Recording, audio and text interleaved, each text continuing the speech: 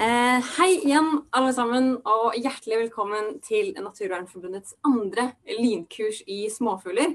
Eh, og I dag skal vi gå gjennom enda flere fugler eh, som eh, dere forhåpentligvis kanskje finner i nærområdet deres og kan bli kjent med. Ehm, jeg heter Hanna Nyborg Støstad og er biolog og fagrådgiver i Naturvernforbundet. Eh, vi syns det var utrolig gøy forrige uke at det var så stor interesse. Eh, så nå har over 40 000 mennesker faktisk sett det forrige lynkurset. Det syns vi er kjempemorsomt, eh, og da måtte vi jo bare sette i gang med et lynkurs til. Så det gleder vi oss veldig til, og vi håper at dere får en fin lunsjpause her sammen med oss i Naturvernforbundet i dag. Eh, på samme måte som forrige uke, så har jeg valgt ut noen få utvalgte arter som jeg skal presentere for dere. Eh, noen av dem har en karakteristisk eller spesiell sang, og da spiller jeg av sangen. Mens andre viser jeg bare bilder. Denne gangen skal jeg også fortelle litt mer om hvor vi finner disse fuglene, hvor de bor, eh, og hva de spiser. Og så er det sånn at dette her blir tatt opp og lagt ut på eh, YouTube og blir liggende på Facebook, så dere kan se det så mange ganger dere vil, og dele det med vennene deres. Um, ja, da skal vi se hopper vi dit. Sånn. Eh, som jeg nevnte forrige gang, så skal jeg skal si en gang til at det er forskjell på hannfugler, hunnfugler og ungfugler. Men det fokuserer vi ikke så veldig mye på i dette lynkurset. Men det kan være verdt å ha med seg eh, videre når du skal ut i naturen og se på fugler. Um, og så er det sånn at Vi bruker jo bare bilder her som er lov å dele fritt. Eh, men det finnes jo masse fine bilder og videoer og masse informasjon der ute på internett. Um, så hvis dere har lyst på mer av det, så er det bare å google i vei. Men husk å prøve å se på kildene og bruke gode kilder som f.eks. Eh, Store norske leksikon eller Artsdatabanken. Um, og så er det sånn at En av de viktigste huskereglene for fuglekikkere jeg nevnte det sist, men jeg skal si det en gang til også, er at vi ikke skal forstyrre fuglene. Eh, det er eh, viktig å ikke forstyrre verken voksne fugler, ungfugler eller fuglereir. Eh, og bare generelt se, men ikke røre. Ok, Så skal vi bare ta en liten kjapp sånn gjennomgang fra forrige gang. Både for dere som ikke så på forrige gang, også sånn at dere kanskje husker dem litt bedre. Eh, da var vi jo innom grovspurv, gråspurv, pilfink, bokfink, kjøttmeis, blåmeis, spettmeis, rødstrupe, linerle, løvsanger og svarttrost.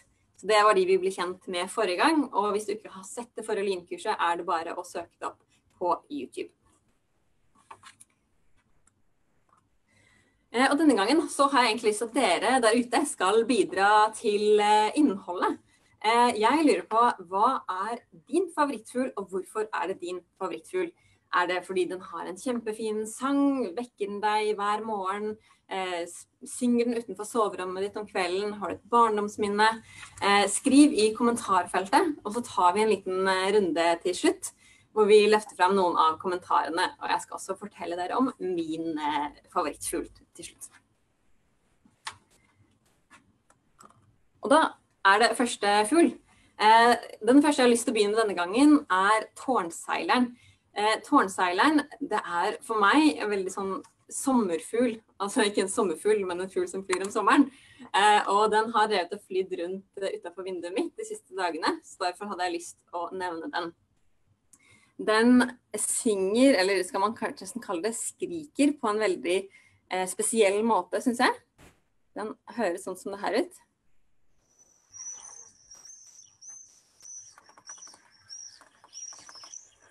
Kommer sånn, sånn skrik, liksom. Så flyr den eh, mellom husene. Eh, mellom husene, og så eh, Den snapper liksom opp insekter i lufta da, mens den flyr. Eh, og den er vanlig i hele Norge. Eh, men eh, den den er også veldig vanlig rundt Middelhavet, og jeg tror det er kanskje derfor jeg tenker på den som en sånn sommeraktig fugl. Eh, fordi den, eh, den eh, minner meg liksom om sydenferie, da. Men den er altså også vanlig i hele Norge.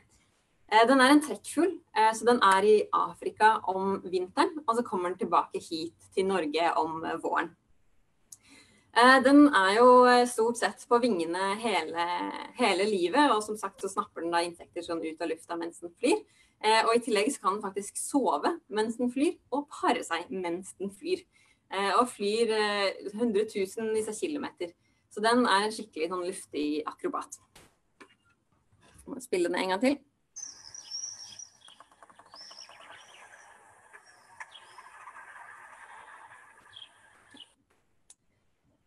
Det var den. Og Tårnseileren den ligner jo egentlig veldig på en svale, men det er faktisk ikke en svale. fordi svalene er liksom en egen familie, og tårnseileren er eh, på en måte på utsiden av den familien. da. Eh, men svalene er jo også veldig sånn fugler som er her om sommeren, så jeg følte det passet å ta med dem i dag. Um, og vi har tre arter med svaler i Norge. Det er taksvale, låvesvale og sandsvale. Eh, Sandsvalen den har jeg skrevet sånn eh, NT i rødt ved siden av, fordi den er eh, på rødlista som nær truet. Eh, så det har blitt veldig mye færre sandsvaler de siste årene. Eh, og det er fordi, eller i hvert fall delvis fordi, at eh, sandbankene som den hekker i, eh, de blir borte. Det blir færre og færre av dem. Fordi man bygger veier og brygger og alt mulig der hvor det har vært sånne sandbanker før. Um, for å skille de tre svalene fra hverandre, da, uh, så kan man se på noen uh, kjennetegn. Altså Det viktigste er å bare huske at de er svaler. Det, da har man jo kommet veldig langt. Men taksvalen den har hvitt på rumpa. Låvesvalen den har sånn ekstra lange halefjær, eller stjert, da, som vi kaller det. Um, og så har den sånn rød på halsen. Um, men sandsvalen har ikke hvitt på rumpa på samme måte som, eh, som taksvalen. Eh, og så bare for å skille med tårnseileren, så tårnseileren er helt svart. Er ingen avtegn i det hele tatt. Eh, og har mye kortere hale, eller stjerte. Eh, og de svalene de flyr også til Afrika om vinteren. Eh, og noen av dem flyr faktisk helt til Sør-Afrika fra Norge. Så de flyr helt utrolig langt for en så liten fugl. Eh, det er veldig, veldig imponerende. Og de finnes også i hele Norge. Det neste jeg har lyst til å snakke om, det er stæren. Eh, stær det er en utrolig kul fugl, syns jeg. Eh, den er dessverre også nær truet på rødlista. Eh, det har blitt veldig mye færre av den. Før var den veldig vanlig, og nå er den litt mindre vanlig, dessverre. Stæren de er svarte med hvite prikker, men de har også sånn metallisk sånn skjær av lilla og grønt. Som liksom skimrer litt når man ser på dem. De er veldig, veldig fine å se på. Eh, og de har ikke en veldig sånn spesiell sang, men de hermer etter andre fugler. Så det er veldig spennende å høre på når man tror man kanskje hører en bokfink. Og så er det et eller annet som er litt rart med den sangen, og kanskje det faktisk er en stær som prøver å være en bokfink. Så skal jeg se om jeg klarer å spille av den. Finne finnes Der er det.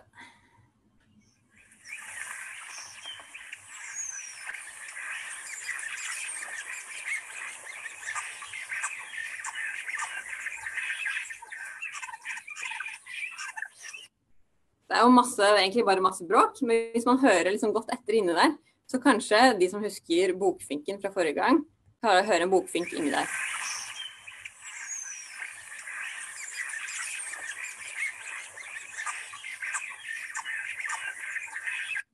Det er jo en veldig Jeg tror det er en veldig smart fugl. At den klarer å herme etter andre fugler. Og også andre ting som den hører ute, ute i, i, verden. Sånn ambulansesirener og diverse andre sånne ting.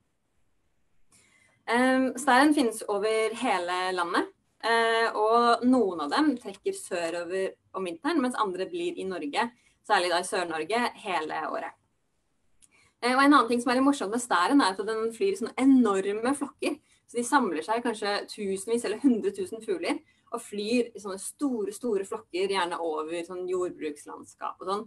Eh, sånn som dere ser på bildet her. Og det ser utrolig stilig ut når de liksom bukter seg over, eh, over, de, de, over landskapene der. Veldig, veldig kult å se på.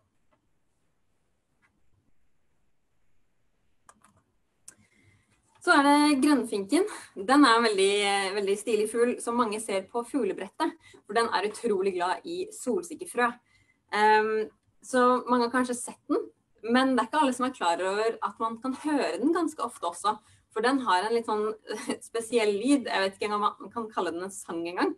Uh, så Store norske leksikon karakteriserer sangen som en kort, monoton og karakteristisk snerring. Eh, snerring er jo kanskje ikke et ord man pleier å bruke om fuglesang, eh, så jeg skal spille den, så kan dere se hva dere eh, synes. Der er den. Så det er litt sånn vanlig sang først, og så hører dere en sånn rar lyd. Der.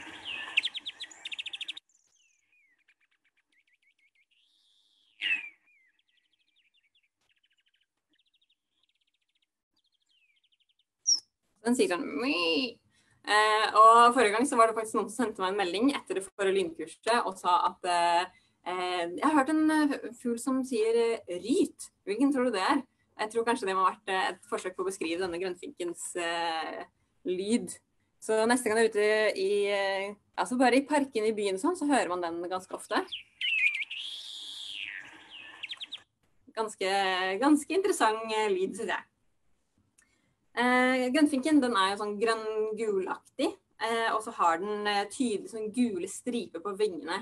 Eh, I hvert fall har han det, mens hunden er mer sånn gulbrun eh, eh, i, i, fargen. da. Så begge disse bildene er faktisk bilder av hanner, er det verdt å merke seg.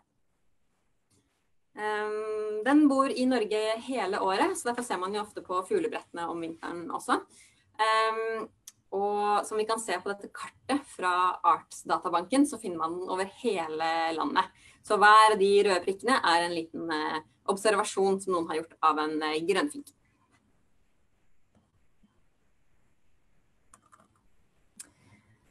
Eh, den neste som jeg skal ta med, er gulspurven. Den er også en som er på rødlista som er truet. Det er en av disse jordbruksfuglene som liker seg godt i jordbrukslandskapet, og mange av dem er truet eh, fordi jordbrukslandskapet endrer seg og blir mer intensivt med mer sprøytemidler og mindre naturmangfold. og eh, ja, Det blir mer parkeringsplasser og mindre, mindre naturmangfold ute i jordbrukslandskapet. Og det er et problem for veldig mange fugler. Det er det også for denne gulspurven, som før var veldig vanlig, og nå er litt mer sjelden, dessverre. Um, og ja, så Gullspurven den er da gull, altså har den litt sånne der, uh, brune striper. Den har en veldig veldig fin sang som jeg syns er kjempefin. Uh, jeg forbinder den med å være på hytta, for der er det masse sånne gulspurver uh, i Sandefjord. og den høres ut sånn som det her.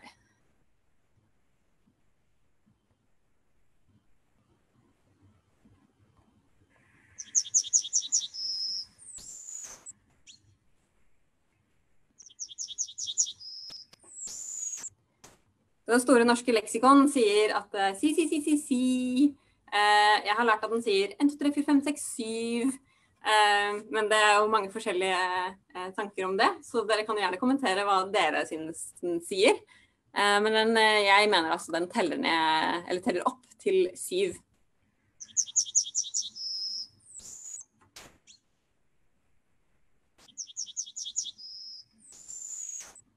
Den finnes altså gjerne sånn ute på landet og langs eh, jordbruks, ja, jordbrukslandskap og eller ved gårder og sånne ting, så den er veldig vanlig.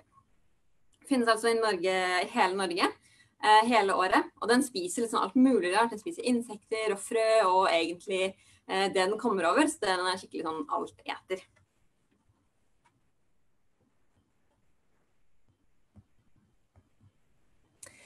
Ok, så Neste fugl det er gråtrosten. Gråtrosten det er eh, på en måte fetteren til svarttrosten, som vi snakket om forrige kurs. Eh, gråtrosten er veldig lik i kroppen, men har da sånn grå farge med litt sånn spetter på magen. Den, ja, så den er veldig vanlig over hele landet. Dette er igjen et sånt kart fra artsobservasjoner, uh, som er Artsdatabankens uh, måte å registrere bl.a. fugler på.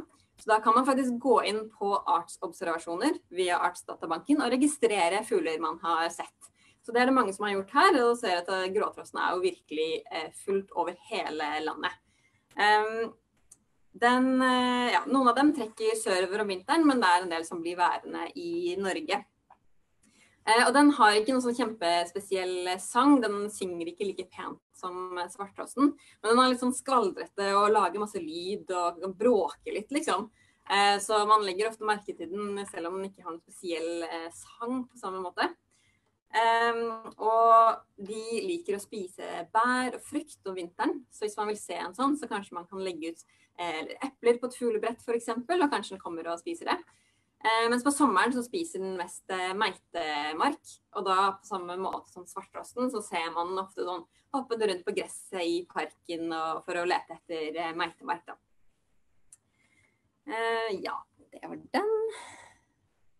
Og så har vi alle duene. Jeg vet ikke helt om duer kan karakteriseres som småfugl, så kanskje de egentlig ikke passer så godt inn. Men duer er jo noe man ser veldig ofte, så jeg tenkte det var fint å ta de med likevel.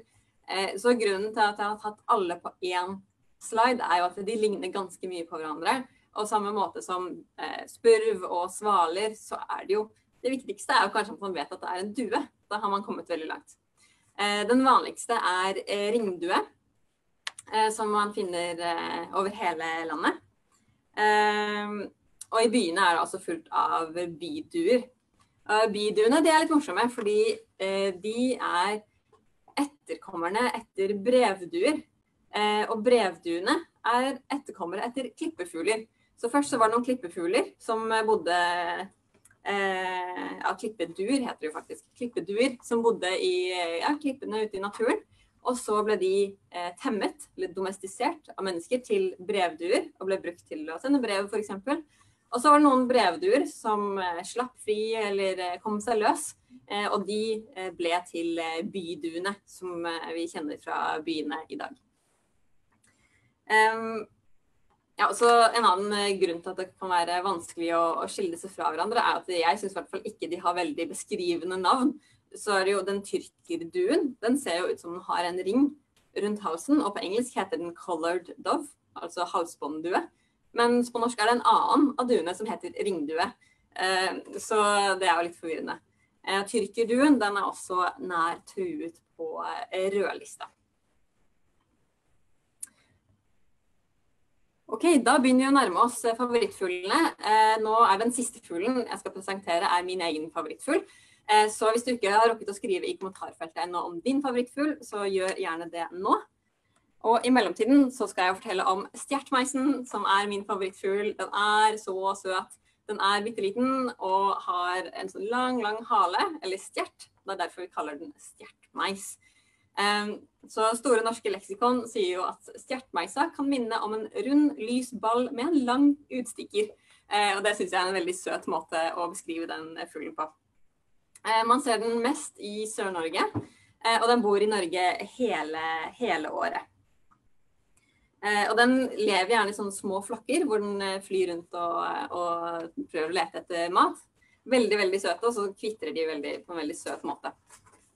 Så det er stjertmeisa som er min favorittfugl. Og da har vi kommet til at jeg skal lese opp noens kommentarer om sine favorittfugler. Så skal vi se hva som har kommet inn.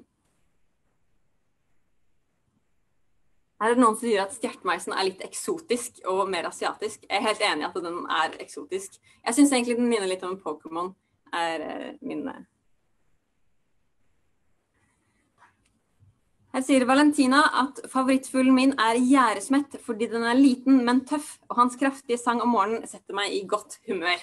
Det var en veldig eh, fin beskrivelse. Eh, Micaela sier at låvesvale kanskje, fordi den ligner på Pokémon Talo. Her, vi ser en trend med Pokémon eh, her, det liker jeg.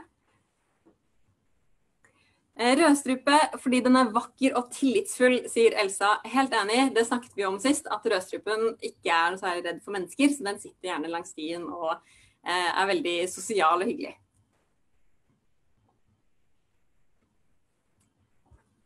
Eivind sier at favoritten er toppmeis, som er en tøff hårfrisyre. Det er faktisk et veldig godt poeng. Toppmeisen er en liten mais som har en sånn svart liten eh, eh, ja, Hva skal man kalle det? En liten hår, hårtust som stikker opp fra hodet. kan anbefales å sjekke ut hvordan den ser ut. Irene sier at min favorittfugl er skjæra, smarte, sosiale fugler som mange tar for gitt. De har vakre farger og er utrolig koselige å høre på når de går og pludrer til hverandre. Det er jeg faktisk helt enig i. Og jeg syns det er veldig koselig om våren når man ser skjærene, fordi da går de nesten alltid i par. Hvor den ene liksom passer på den andre. Eh, og passer på at, eh, hun, at, dama ikke går noe sted. Så de er veldig tett knytta til hverandre.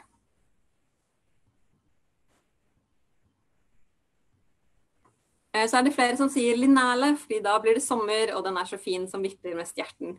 Og det, det kan jeg være enig i.